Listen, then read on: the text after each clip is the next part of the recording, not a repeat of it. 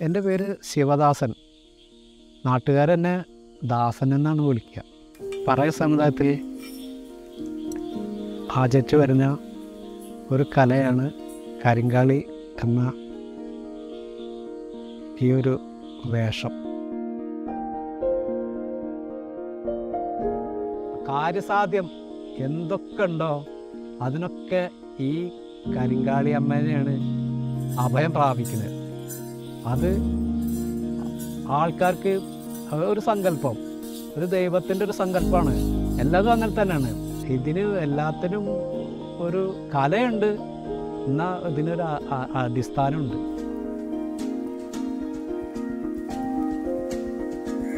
എന്റെ ചെറുപ്പകാലം ഞാൻ കണ്ടു വളർന്നത് ഈ കാളി കെട്ടിട്ട് തെറ കെട്ടുക പൂതം കെട്ടുക ഉണ്ണിക്കത്ര കെട്ടുക? അങ്ങനെയുള്ള കലകളൊക്കെ കെട്ടിക്കണ്ടത് എന്റെ തറവാട്ടിൽ നിന്ന് തന്നെയാണ് മകരം കുംഭം മീനം ഈ മൂന്ന് മാസങ്ങളിലും ഞങ്ങൾ നോൽമ്പിൽ തന്നെയാണ്.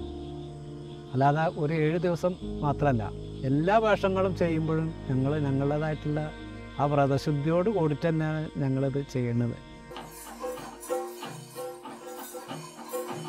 മണലിയർക്കാവ് എന്ന് പറഞ്ഞ നന്നമുക്കിലൊരു ക്ഷേത്രമുണ്ട്. അതുപോലെ ഞങ്ങളുടെ തട്ടകം. ആ തട്ടകത്തേക്ക് ഞങ്ങൾ കരിങ്കാളി തെറ പൂതൻ ഇങ്ങനെയൊക്കെയുള്ള കലകളൊക്കെ ഞങ്ങൾ കെട്ടിയാടിയിട്ട് ഇപ്പോഴും കൊണ്ടുപോകുന്നുണ്ട് എന്റെ തറവാട്ടിൽ മലവായി ഉണ്ട് ആട്ടങ്ങളും ഉണ്ടായിരുന്നു. അത് എന്റെ വല്യച്ഛന്മാരും അച്ഛനും പാപ്പന്മാരും കൂടിയിട്ടാണ് ഈ മലവാഴിയാട്ടം നടത്തിയിരുന്നത്. എന്റെ ചെറുപ്പക്കാലം കുറച്ചുകൊണ്ട് കഴിഞ്ഞപ്പോൾ അതൊന്നും ഇല്ലാതായി.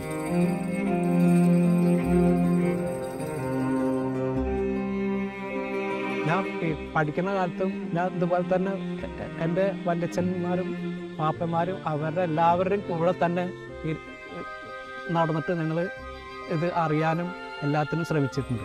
അതെന്ന് പറഞ്ഞാൽ നമ്മൾ അയ്യ ഇനി ഇതൊന്നും വേണ്ട എന്നൊക്കെ പറഞ്ഞ് നടന്നിരുന്ന ഒരു കാലം ഉണ്ടായിരുന്നു. പക്ഷേ ഇപ്പോൾ ഞങ്ങൾക്ക് തോന്നുന്നത് അത് ഞങ്ങൾ ഉപേക്ഷിച്ചിരുന്നുണ്ടെങ്കിൽ നമുക്ക് അതൊരു തീരാ നഷ്ടമായിരുന്നു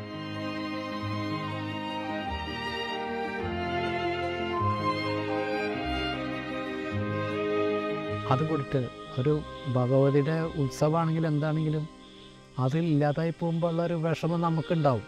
അത് സാമ്പത്തികമായിട്ടുണ്ടാവും മാനസികമായിട്ടും അത് ഭയങ്കര വിഷമമാണ്. നമ്മൾ ഇത്രയും കാലമായിട്ട് ഇത് കൊണ്ടു നടക്കല്ലേ?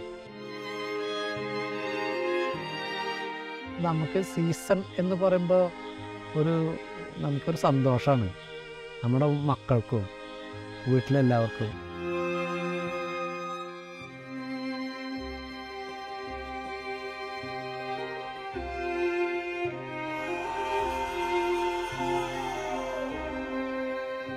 ഞാൻ എന്റെ ജീവിതകാലം മുഴുവൻ ഇനിയിപ്പോൾ അധികം കാലമൊന്നുമില്ല എന്നാലും അത് എന്റെ മരണം വരെ ഞാൻ ഇത് കൊണ്ട് പോകണമെന്നാണ് എന്റെ ഒരു ആഗ്രഹം.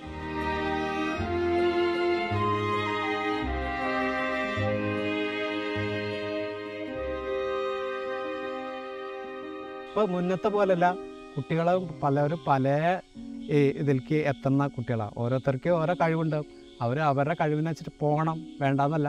പക്ഷെ നമ്മളുടെ ഈ പൂർവികന്മാർ ചെയ്തു പോരുന്ന കാര്യങ്ങൾ നമ്മൾ ഉപേക്ഷിക്കരുത് എന്നാണ് ഇപ്പോഴുള്ള കൽ തലമുറകളോട് എനിക്ക് പറയാനുള്ളത് എല്ലാ കലകളും അതിന്റെ അനുഷ്ഠാനം പോലെ പോകണം അത് നിലനിന്ന് പോകണം എന്നാണ് എനിക്കും ഇനിയുള്ള തലമുറകൾക്കും എനിക്ക് പറഞ്ഞു കൊടുക്കാനുള്ളത്.